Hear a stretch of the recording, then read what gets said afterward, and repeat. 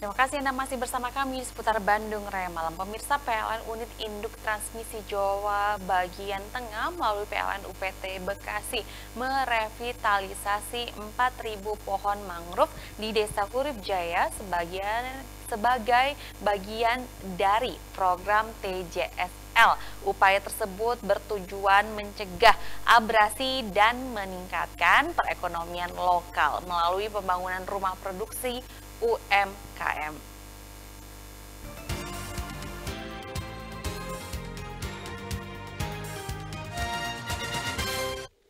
PLN Unit Induk Transmisi Jawa bagian tengah melalui PLN UPT Bekasi menunjukkan komitmennya dalam menjaga kelestarian alam dengan melakukan revitalisasi pohon mangrove di pesisir pantai Desa Hurib Jaya.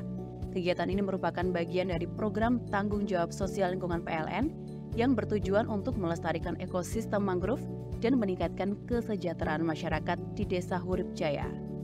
Revitalisasi pohon mangrove dilakukan dengan menanam 4.000 bibit pohon mangrove di area yang telah terdegradasi serta peletakan batu pertama untuk pembangunan rumah produksi UMKM pengolah buah mangrove di Desa Hurib Jaya, Kecamatan Tarumajaya, Kabupaten Bekasi. Bantuan tersebut diserahkan secara simbolis oleh Senior Manajer Keuangan Komunikasi dan Umum PLNU ITJBT, Firdaus M. Nur, kepada pegiat mangrove Agus Arif Setiawan pada Senin 15 Juli lalu. Acara tersebut juga turut dihadiri sejumlah stakeholder di antaranya Dinas Perikanan dan Kelautan Kabupaten Bekasi, Camat Babelan, Kepala Kelurahan Sembilangan, Kepolisian dan TNI AL sektor setempat.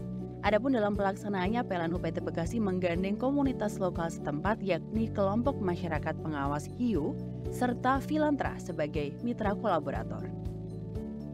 General Manager PLN Unit Induk Transmisi Jawa bagian Tengah, Tejo Hardiono mengatakan program ini menjadi salah satu wujud kontribusi PLN dalam pelestarian lingkungan untuk mendukung masa depan berkelanjutan. Hal yang sama juga diungkapkan manajer UPT Bekasi Dewi Setiaharini Menurutnya program tersebut memiliki potensi yang layak untuk dikembangkan. Kepala Desa Urip Jaya M. Tayakub menyambut baik dan mengapresiasi penuh program PLN.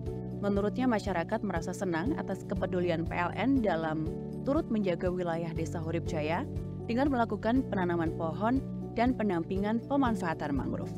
Dengan adanya program ini, PLN berharap revitalisasi mangrove dapat berjalan baik sehingga dapat mencegah terjadinya abrasi di pesisir pantai Desa Hurib Jaya. Selain itu juga dari sisi ekonomi, pendampingan UMKM yang dilakukan dapat menciptakan lapangan kerja baru sehingga mendorong peningkatan perekonomian setempat.